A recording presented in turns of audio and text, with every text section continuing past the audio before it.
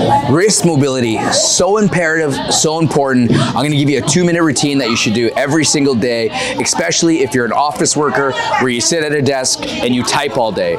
Some of the common injuries that you're gonna face is carpal tunnel, you're gonna get the trigger finger, and some type of tendonitis. Now, carpal tunnel is where you trap the nerve in the wrist. Trigger finger is the inflammation of the finger tendons, and tendonitis is an overall inflammation of the tendons surrounding the entire wrist.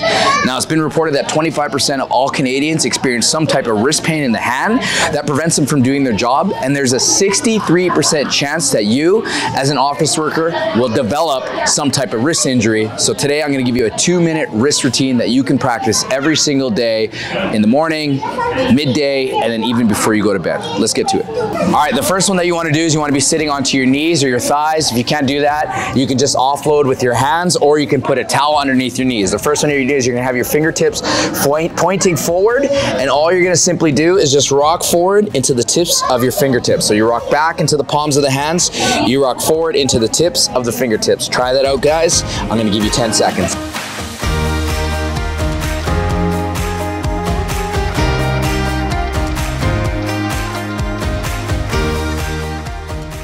All right, excellent job. Now we're gonna get the opposite side of that. We're still gonna focus on the wrists. We're gonna go fingers inwards this time, and this one you're gonna feel more of a stretch.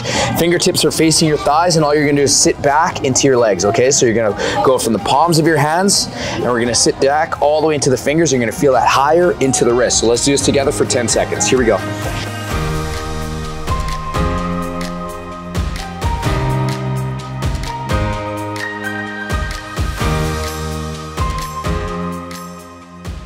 All right, this next one is a little bit weird, but it's great for the backs of the wrist. All you're gonna do is you're gonna start with your fists on here. Now, the more weight you put on, the harder it's gonna be. So just start light, keep your fingertips curled in, and all you're gonna do is just drop the back of your fists and then keeping your elbows as high as possible. So mine are a little bit tight from tennis.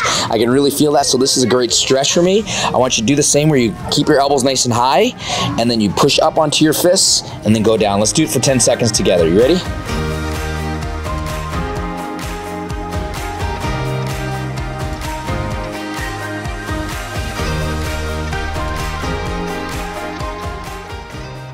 All right, this last one, finger push-ups. No, you don't have to actually do a push-up, but this one is inspired by Bruce Lee. We're gonna splay the fingers, okay? So we're gonna put the hands on the ground, and all you're gonna do is just put your weight, and you're gonna feel that hand splay as much as you possibly can. Then bring your fingers back to the center, and then let them splay out as far as you can.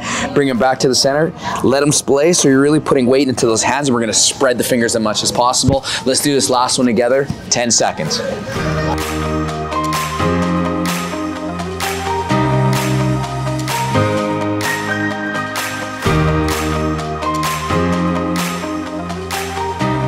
So there we have it, guys. We're gonna get rid of those sore hands, sore wrists, sore fingers. We're gonna get rid of all the tendonitis. I want you to do this even just for 10 seconds, three times a day, and it's gonna keep your wrists healthy. It's gonna keep you injury free. Most importantly, it's gonna keep you in the gym, which you're gonna be fit and happy. So guys, I hope you enjoyed this video. Give the video a like, hit the subscribe button if you haven't, and put a comment in the sections whether or not you've tried this wrist exercises.